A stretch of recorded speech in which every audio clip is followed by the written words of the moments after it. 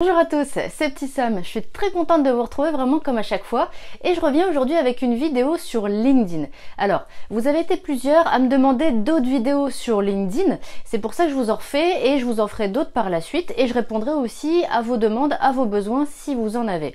Donc pour cette vidéo aujourd'hui, j'ai décidé de vous expliquer comment faire un profil LinkedIn efficace quand on est vraiment débutant.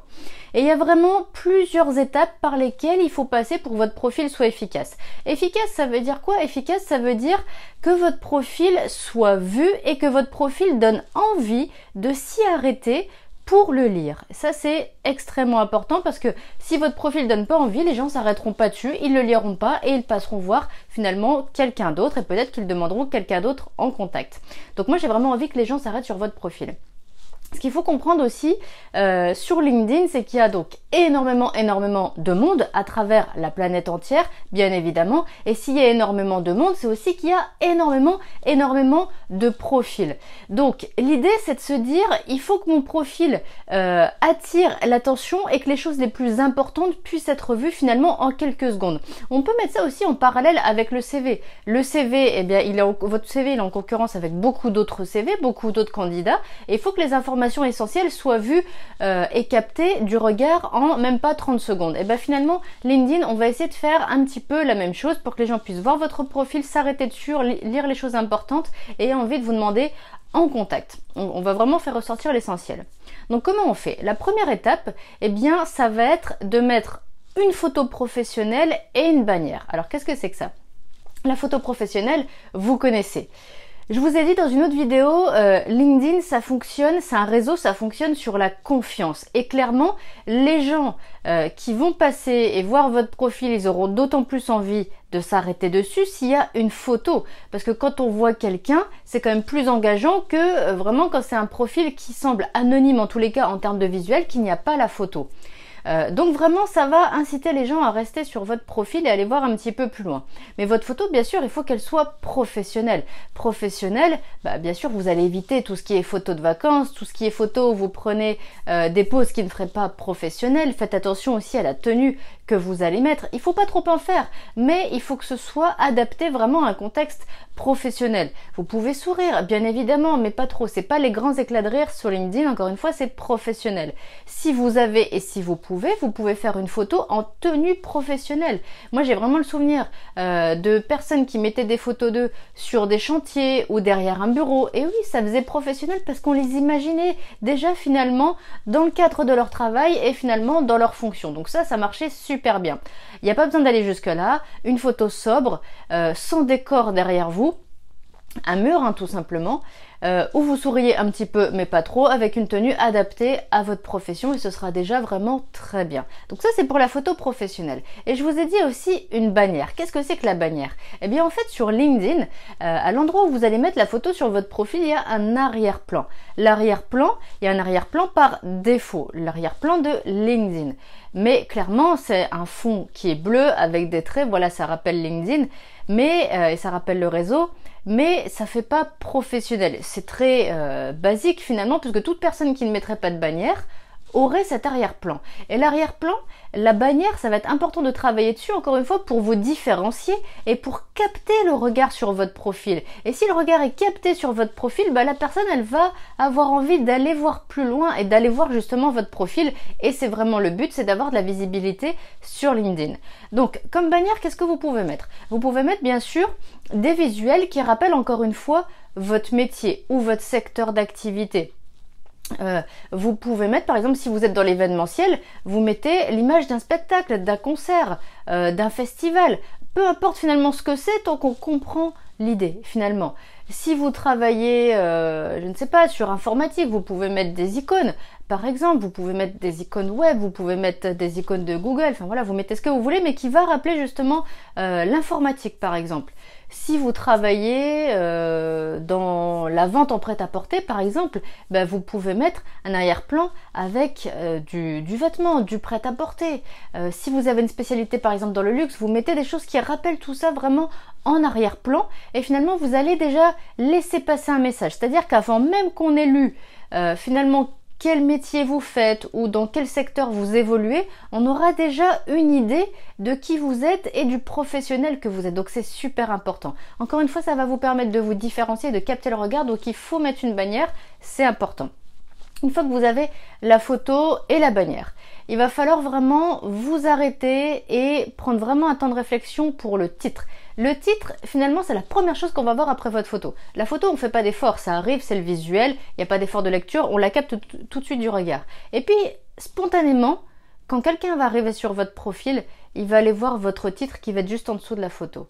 Et là, qu'est-ce qu'il doit trouver dans votre titre? Eh bien, dans votre titre, il doit trouver bien sûr le métier ou le secteur sur lequel vous vous positionnez, mais pas que. Vraiment, moi j'ai envie que vous fassiez un profil efficace. Donc, mettre le nom de son métier, ça vraiment tout le monde peut le faire. Encore une fois, c'est passe-partout.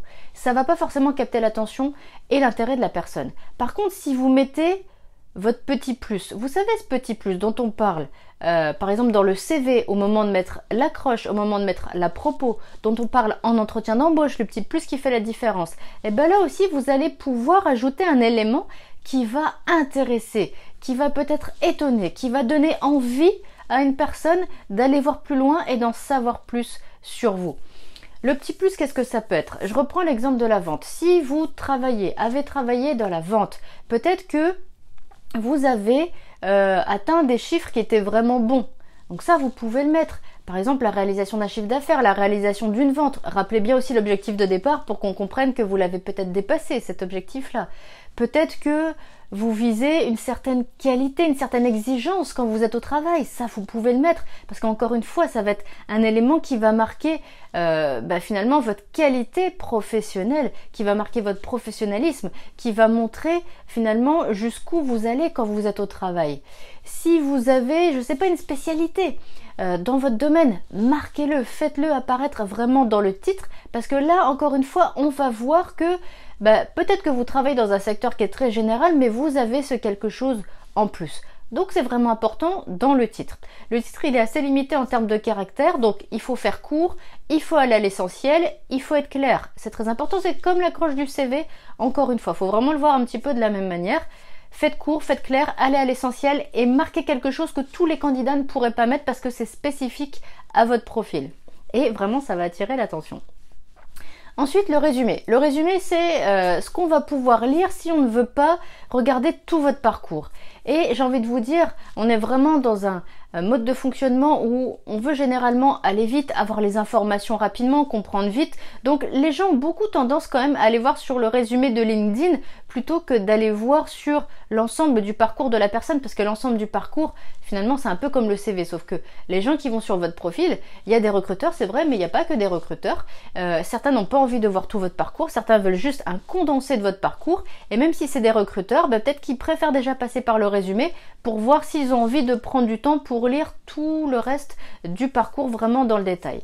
Donc le résumé, euh, le résumé doit vraiment faire ressortir les éléments les plus importants de votre parcours. Il ne faut pas rappeler vos expériences, vos stages, vos formations dans l'ordre chronologique. Non, ça on va l'avoir un peu plus loin dans les expériences et dans les formations justement d'autres rubriques de votre profil LinkedIn.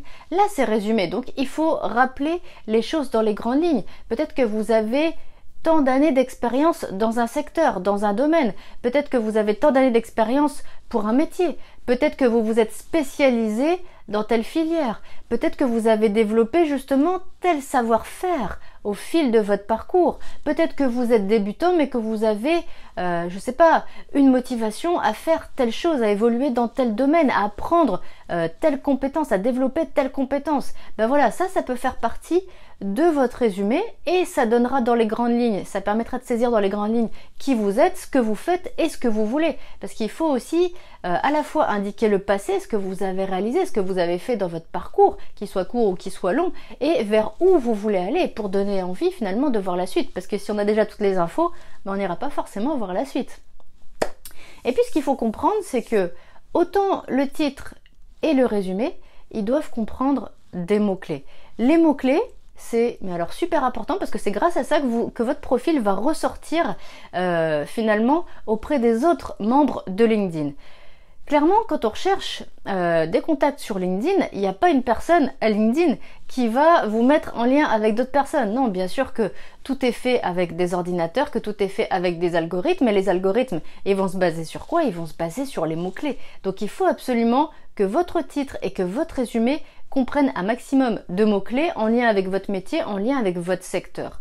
Les mots-clés, si vous ne savez pas du tout ce que vous pouvez choisir, utiliser comme mots-clés dans votre profil, il y a des astuces. Allez voir les profils des autres personnes qui font le même métier que vous, voyez les mots qui reviennent le plus. S'ils reviennent aussi souvent, ça veut dire que c'est des mots qui sont importants et que vous pouvez réutiliser dans votre profil.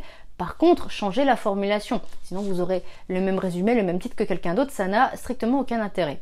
Et puis, moi, j'ai envie de vous dire, allez voir aussi, euh, par exemple, les offres d'emploi du métier qui vous intéresse. Et là, vous allez voir ces mots récurrents, ces termes qui reviennent à chaque fois. Et finalement, ces mots-clés qui sont propres à votre métier, qui sont propres à votre secteur, et réutilisez-les. Tout simplement. Mais il faut absolument que vous ayez ces mots-clés, encore une fois, pour que votre profil ressorte, pour que votre profil soit proposé à d'autres membres du réseau. Super important.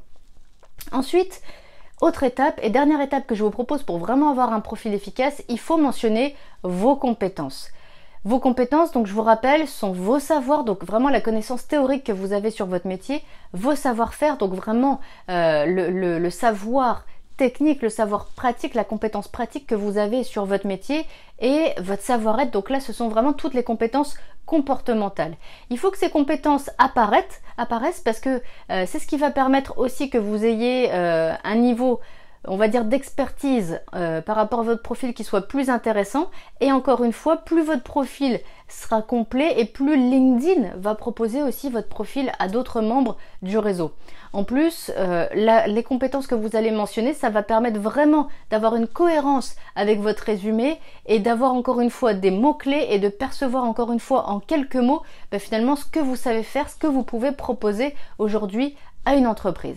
Donc voilà pour ces 5 conseils pour avoir un profil efficace. Je vous les rappelle, donc c'est mettre une photo professionnelle avec une, barrière, une bannière derrière la photo professionnelle, c'est mettre un titre avec des mots-clés et avec une plus-value déjà dans le titre. C'est euh, mettre un résumé qui va englober l'ensemble de votre parcours dans les grandes lignes mais en faisant ressortir les éléments les plus importants. Et c'est également euh, mentionner vos compétences et tout ça donc avec des mots-clés extrêmement extrêmement importants. Voilà, donc j'en ai fini euh, avec cette vidéo sur LinkedIn pour avoir un profil efficace. Vous avez peut-être d'autres questions, vous avez peut-être des interrogations, il y a peut-être des choses que vous ne comprenez pas bien sur LinkedIn. Marquez-moi tout ça en commentaire, que je puisse déjà vous répondre à vos questions. Et si besoin, ben, je vous proposerai d'autres vidéos en lien avec justement les questions que vous avez ou ce qui vous pose difficulté justement sur LinkedIn. Et puis bien sûr, si vous voulez plus d'informations, vous savez, j'ai une chaîne YouTube qui comprend énormément, énormément de vidéos. Il y a plus de 100 vidéos à ce jour et il y en aura encore bien plus au fil du temps. Allez voir justement euh, sur cette chaîne YouTube, vous allez trouver énormément d'informations qui vous intéressent pour votre CV, votre lettre, votre entretien d'embauche, votre confiance en vous, votre réseau social, peu importe, il y a vraiment de quoi faire. Et puis également, n'oubliez pas mon site internet sefaire-recruter.fr où là aussi vous trouverez un maximum d'informations. Voilà, je vous remercie d'avoir suivi cette vidéo et je vous dis à très bientôt dans une prochaine vidéo.